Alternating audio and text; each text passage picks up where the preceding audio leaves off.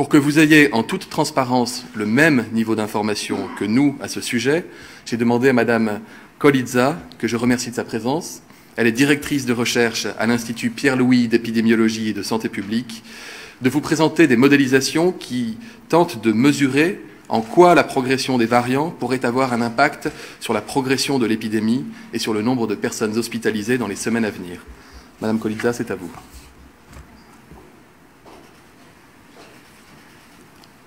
Merci beaucoup, Monsieur le Ministre.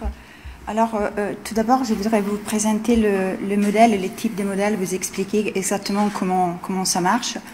On utilise un modèle qui est bien évidemment euh, calibré sur la population en France, qui tient compte de tranches d'âge, des facteurs de risque, et aussi qui tient compte de, du nombre de contacts qui sont associés à chaque tranche d'âge. Et puis, euh, on décrit bien évidemment la progression de l'infection, la progression de la maladie selon les personnes, les individus de différents âges.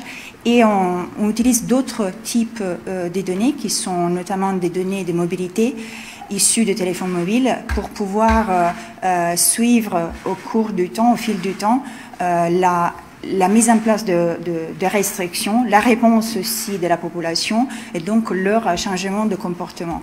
Alors là, sur cette diapo, je vous montre sur la gauche, par exemple, des estimations fournies par euh, Google sur la variation du nombre de personnes qui sont présentes sur leur lieu de travail. Alors, la zone centrale qui est en rouge correspond au deuxième confinement. Et c'est ça pour vous montrer qu'effectivement, aujourd'hui, on est à des niveaux qui sont en dessous de moins 20% par rapport à ce qu'on avait dans nos phases pré-pandémiques. Et on est bien en dessous de ce qu'on avait, par exemple, au début de la deuxième vague, qui sont les premiers points de ce graphique. Euh, on se trouve aujourd'hui dans une situation qui est encore un peu mieux par rapport à la fin du deuxième confinement, ce qui nous indique que le télétravail et toutes les recommandations sur, autour de l'adoption de cette mesure, qui est très importante pour lutter contre l'épidémie, sont bien respectées. Euh, puis, on utilise aussi d'autres types de données. Je vous montre là sur euh, le graphique. Non, c'est toujours la, Merci. Sur le graphique à droite, aussi d'autres types de données de présence dans les commerces. Et ça, c'était plutôt pour euh, vous, vous, montrer la, la tendance qu'on a observée à partir du début de l'année, à cause aussi de recommandations, mais à cause aussi du couvre-feu anticipé et donc une fermeture aussi anticipée des commerces. On a, on voit aujourd'hui une baisse qui est lente, mais qui est assez visible sur les données et de toute façon une présence sur le lieu de commerce qui est un peu assez plus faible par rapport à ce qu'on avait, par exemple, en sortie du confinement et par rapport aussi à ce qu'on avait euh, avant, donc au début de la deuxième vague. Puis, on utilise toutes ces données, on les intègre dans euh, notre modèle, et ça sera la diapo suivante, s'il vous plaît. Merci. On les intègre dans notre modèle au cours du temps pour décrire ce comportement et euh, en même temps, on calibre les modèles sur les données d'hospitalisation, les données d'admission à l'hôpital, les données journalières Ici, je vous montre les données hebdomadaires pour une simplification de la visualisation. Euh, ces modèles, la ligne que vous voyez, donc, sont, c'est l'issue du modèle, et puis il y a cette zone grise autour de cette ligne qui correspond à l'intervalle de confiance de ces projections. Alors si on se concentre euh, à nouveau, la zone euh, grise euh, sur la partie à gauche correspond au deuxième confinement. On voit bien qu'il y a eu la deuxième vague et après la descente. Et puis il y a aussi une indication du couvre-feu qui a été mise en place à 20 heures après le deuxième confinement et le couvre-feu qui a été anticipé à 18 heures dans les mois de janvier.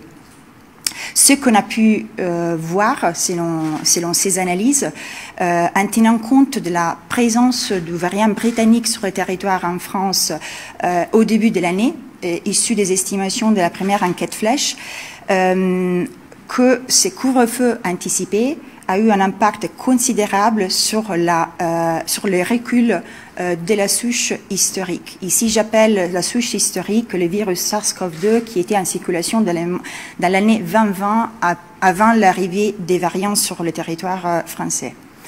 vous pouvez voir, il y a cette ligne qui est la ligne pointillée.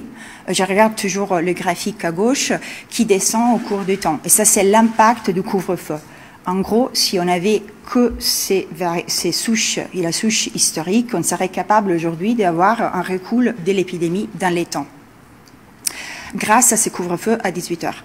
Au même temps, par contre, on a une augmentation du variant britannique qui est la courbe verte en continu euh, et qui, effectivement, nous on l'a modélisé, mais cette modélisation sont aussi en accord avec les estimations qui sont issues de la deuxième enquête flèche et qui montrent une augmentation dans les temps de la pourcentage du nombre de cas de, dû à ces variants.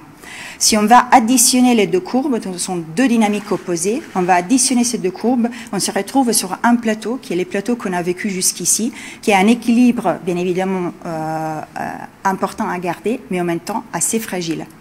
Et puis, euh, ce qu'on voit après les points, il s'agit plutôt des projections du modèle.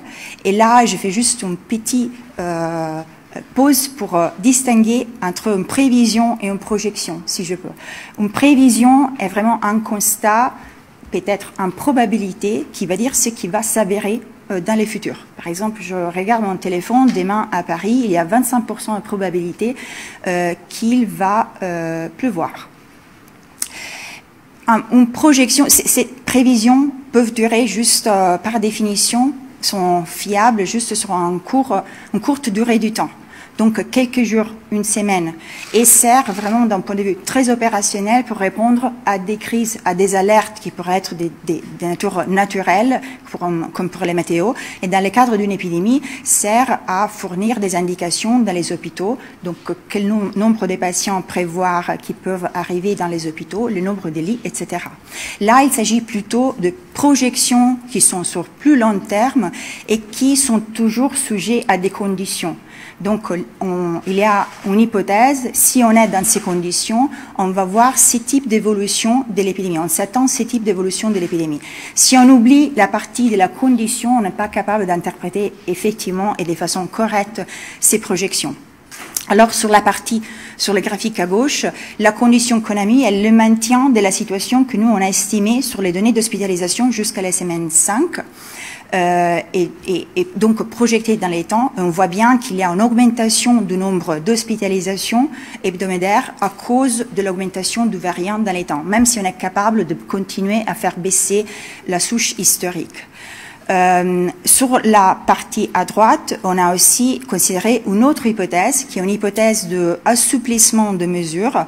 Euh, L'hypothèse correspond à un 10% supplémentaire d'augmentation de R effective du non-VOC et qui va accélérer encore plus euh, largement cette dynamique d'augmentation. Donc, on va réduire les temps qu'on a à disposition sur ces plateaux. Et puis, on a fait une troisième hypothèse, qui est la diapo suivante, alors surtout à gauche, on a toujours le même graphique de maintien de la situation de la semaine 5 et à droite, on a par contre une euh, hypothèse de renforcement de mesures de distanciation sociale qui pourrait se traduire avec plusieurs façons. Par exemple, un renforcement de euh, tester, alerter, protéger qu'on sait bien qui a déjà mis en place à cause du variant britannique et qui, on sait aussi que d'un point de vue épidémiologique est très efficace parce qu'il va là où il y a le virus qui se, qui se propage pour casser cette chaîne de transmission. Dans ces cas, dans ces cas-là, on pourrait avoir une plus forte réduction, pas seulement de la souche historique, mais aussi du variant britannique dans les temps, et ça pourrait nous apporter en condition encore sur ces plateaux euh, pour plus long terme, donc gagner du temps euh, par rapport au moment où on pourrait avoir euh, la vaccination de façon plus large, donc impacter la courbe épidémique.